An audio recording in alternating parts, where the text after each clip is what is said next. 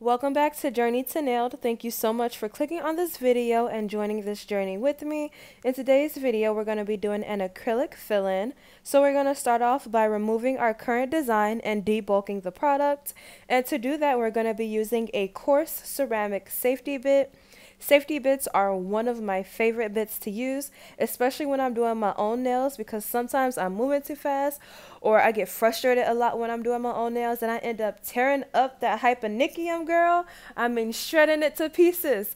So safety bits are my go-to when doing my own nails.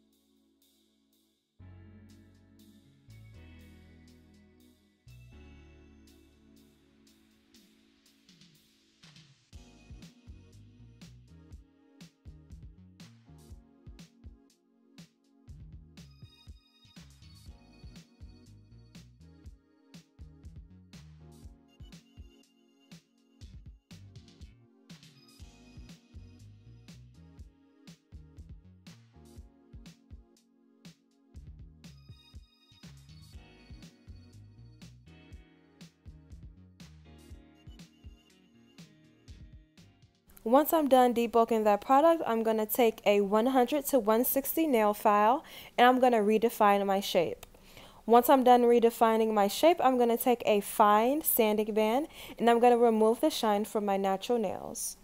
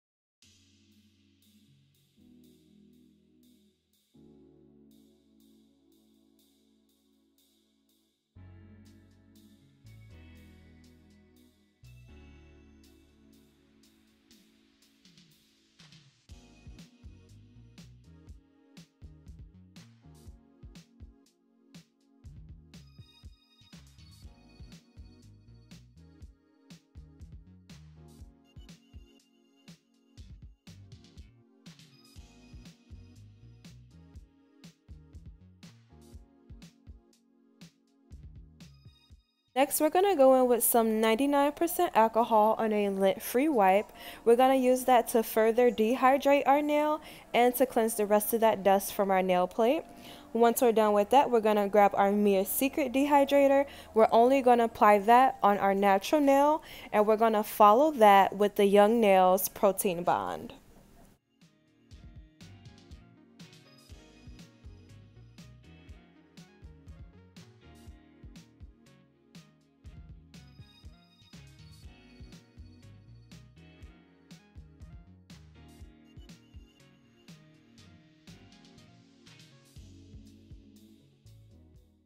I currently rent out a suite space where I'm not supposed to be doing acrylic, but you know what they don't know won't hurt them. So we're going to use this chisel no odor droplets. You apply a few drops into your dappen dish before you pour your monomer in.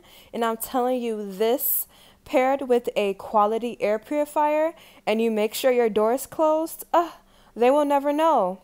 They will never know that you're doing acrylic in there. Just make sure you have these droplets, a good air purifier, and close your door. Oh, it's a secret.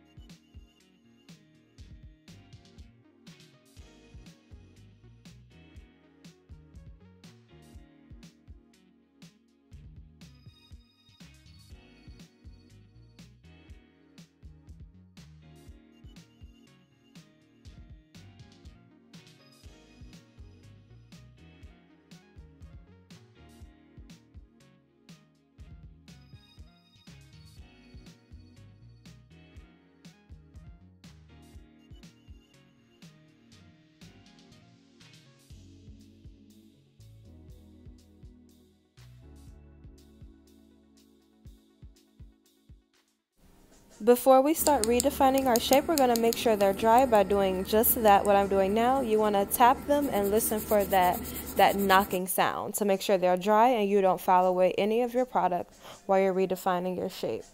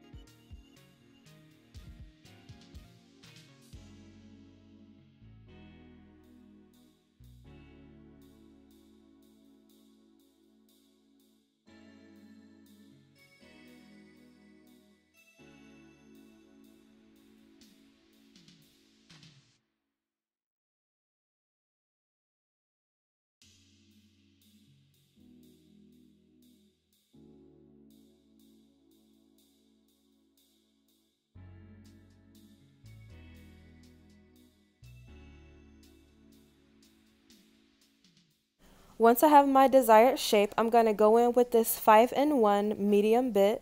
I'm going to use this bit to seal my cuticle as well as smooth out any bumps that I have in my acrylic.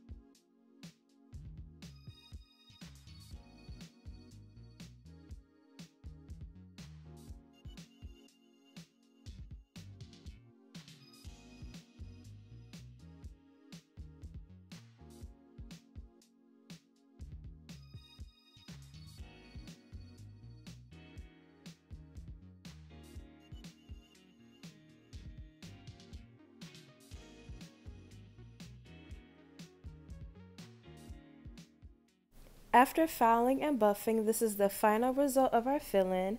I am going to give you guys a sneak peek of the design that I did. I didn't include the design in this video because I didn't want this video to be super long. So if you guys like the way this design came out, stay tuned because it will be in the next video. Thank you for watching.